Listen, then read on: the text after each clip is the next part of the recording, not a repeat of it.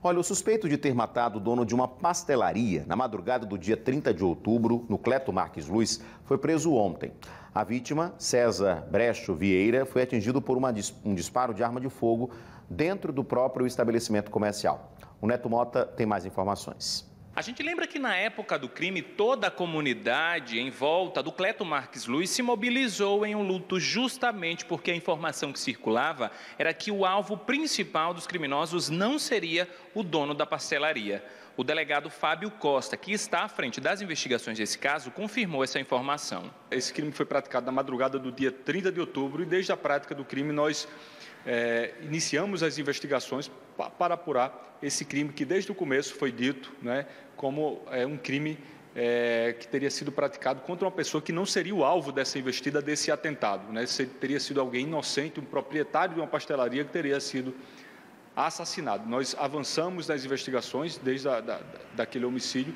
É, enfim, houve uma mobilização, como você bem disse, diversas pessoas nos marcaram nas redes sociais para a promoção, para a busca da justiça e nós, na tarde de ontem, finalizamos as investigações com a prisão do suspeito que confessou a prática do crime e deu detalhes da prática criminosa. Ele confessou aqui que ah, teria discutido uma semana antes do crime com um indivíduo numa casa de shows ali na Avenida Menino Marcelo, por conta de uma ex-companheira, eh, por conta de uma questão de ciúme, houve uma discussão, ameaças recíprocas e uma semana depois, esse indivíduo, o autor, na sua motocicleta, chegou nessa pastelaria e viu um grupo de indivíduos e um deles seria amigo dessa pessoa com quem ele discutiu na casa de shows. Então, nem mesmo aquele grupo ali de pessoas, de jovens que estavam ali, seria é, o seu desafeto. Ele então sabendo que aquela, um daqueles indivíduos era amigo da pessoa com quem ele discutiu, sacou de um revólver e descarregou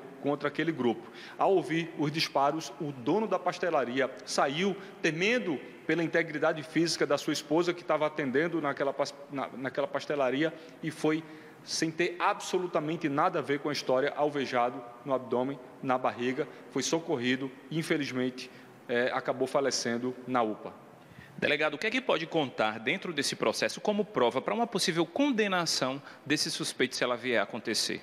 Olha, primeiro as testemunhas, é, a própria confissão do autor e da mãe é, da, do suspeito. A mãe do suspeito também foi ouvida aqui na delegacia de homicídios e disse que o suspeito, o filho é, dessa senhora, logo após a prática do crime, chegou em casa e falou para ela: Olha, mãe, eu atirei, eu descarreguei um revólver contra um grupo de indivíduos, acertei alguém, não sei exatamente quem eu acertei. Depois eles tiveram ah, o conhecimento de que é, o indivíduo, o autor, teria atingido o inocente, o dono da pastelaria, alguém que não tinha nada a ver com aquela história.